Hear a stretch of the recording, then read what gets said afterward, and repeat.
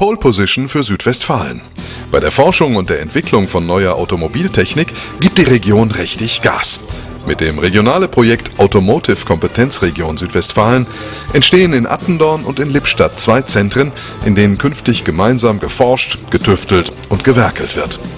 NRW-Wirtschaftsminister Harry Kurt Vogtsberger hat jetzt die Förderbescheide für beide Standorte übergeben. Das Automotive Center Südwestfalen, kurz ACS in Attendorn, fördern das Land und die EU mit 14,8 Millionen Euro. Also wir müssen ja sehen, Nordrhein-Westfalen ist ja ein, ein äh, exzellenter äh, Automobilstandort.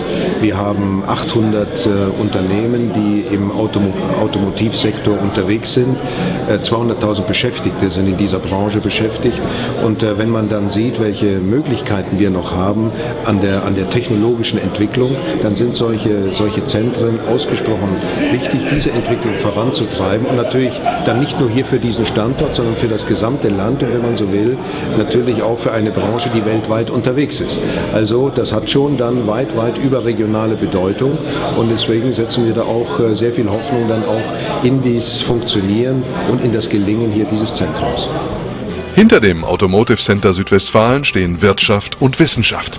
Ideengeber sind die Universität Siegen und die Fachhochschule Südwestfalen. Zudem sind mehr als 70 Unternehmen aus Südwestfalen beteiligt. Der Entwicklungsschwerpunkt liegt auf dem Karosserie-Leichtbau. Also die Autoindustrie ist eine weltweite Industrie.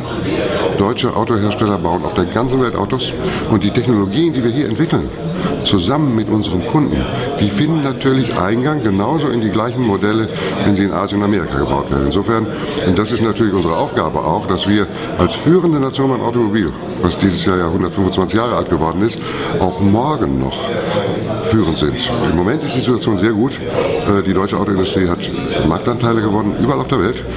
Ähm, eigentlich viel besser, als wir das jemals uns erhofft hätten. Nur bei der Veränderung der Mobilität, denken Sie an Elektromobilität, denken Sie an Carsharing, neue, neue Methoden, wie wir Mobilität überhaupt entwickeln.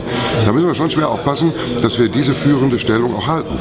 Auch für das Kompetenzzentrum Fahrzeugelektronik, kurz KFE in Lippstadt, wurde mittlerweile ein Förderbescheid in Höhe von 5,8 Millionen Euro übergeben.